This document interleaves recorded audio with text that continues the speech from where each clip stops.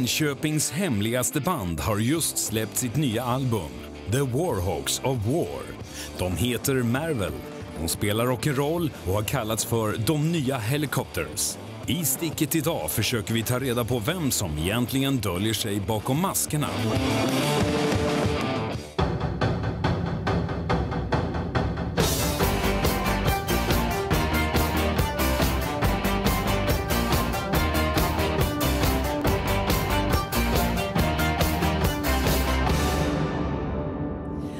Tillsammans med finska Lordi så är det väl Linköpingsbandet Mervel som håller den maskerade rocken uppe i Norden. Välkomna hit.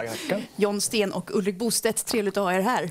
Tack så mycket. Hörrni ni, eh, alltså folk hemma i tv-sofforna undrar ju naturligtvis eh, om det här med maskerna. Så jag tycker vi, vi klarar av det först. Alltså varför är ni maskerade? Ja, vi kan väl se oss som eh, rockens svar på Thomas Tranströmer. Han är en poet som inte försöker gömma sig bakom sin lyrik. Han vill inte stå i vägen för sin lyrik. Och vi vill inte stå i vägen för vår musik. Så genom att ha mask så vill vi att fokus ska ligga på musiken. Okay. Upplevelsen liksom blir starkare eller? Det är ingen hemlighet att det, det driver mogna kvinnor helt galna heller. Nej. Det är också ett tungt vägande skäl tycker jag personligen. Ja. Jag förstår, alltså, har, det, har det hänt någon gång att ni har spelat utan mask? Ja, en gång faktiskt. Vad hände då? Nej, det var ingen bra. Ingen blev galen? Nej, det var dött.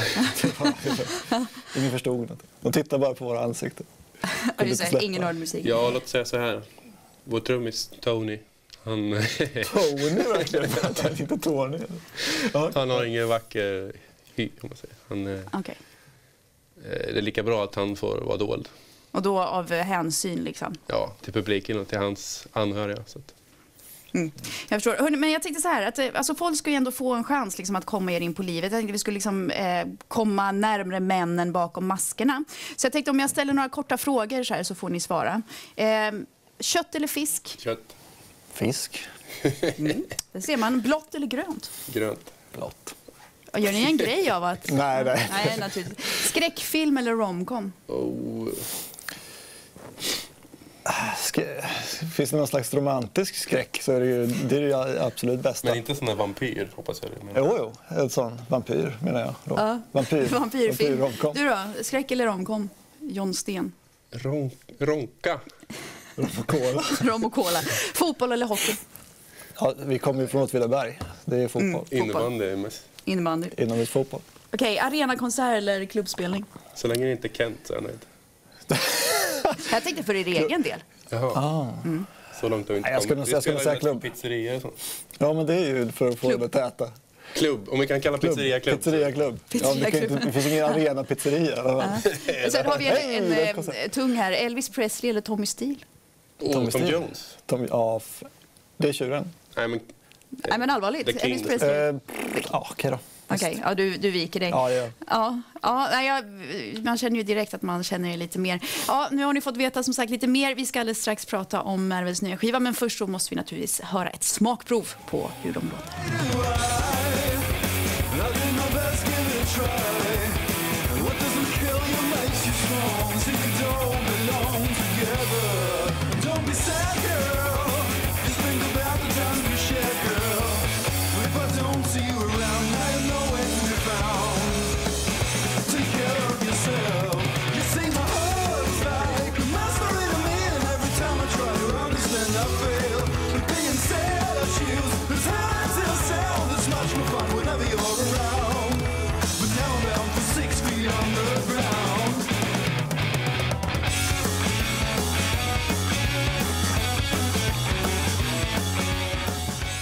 Ja, alltså ni har ju nyss eh, då släppt er tredje platta, Warhawks of War.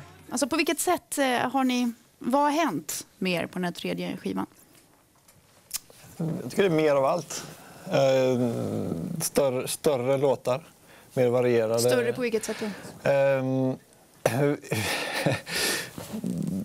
mer variation mellan låtarna. Mer, högre mer trummor, mer bas, mer sång, mer gitarr. Mera större, större produktion. Eh, Utan att tappa alltså, ja, det, det finns, det finns eh, helt vanliga rock'n'roll-rökare, självklart, Mm. på skivan. Men jag tycker att det finns eh, mer annat också. Mm. Hur, hur, känner ni själv, hur känner ni själva liksom för den här skivan? Nu? Den har några veckor på nacken ute. Sån där. Väldigt nöjda måste jag säga. Ja, Ja. absolut. Varför då?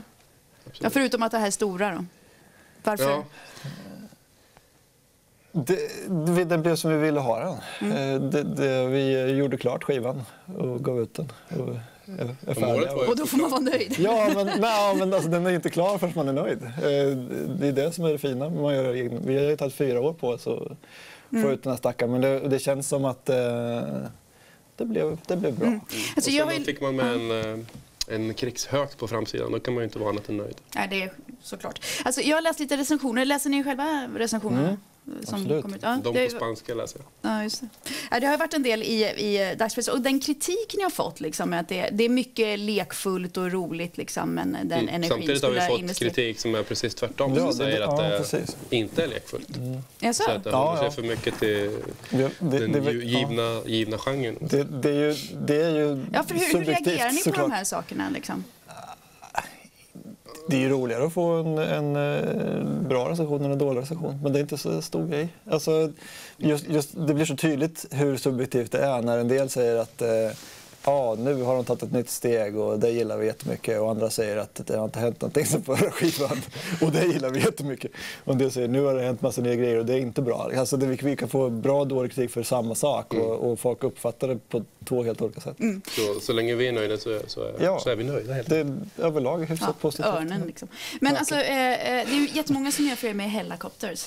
Ja. Vad säger ni om det? Är det bra? Vi har ju samma förebilder som dem så att det är inte så konstigt att folk tror att vi låter lika. De har också... Nej, men Det finns ju klart. beröringspunkter. Ja, de har det lyssnat det, på men- Axe-Witch och Straight Up precis som vi har växt upp med Ja, musik. visst. Wet. Så, ja, wet.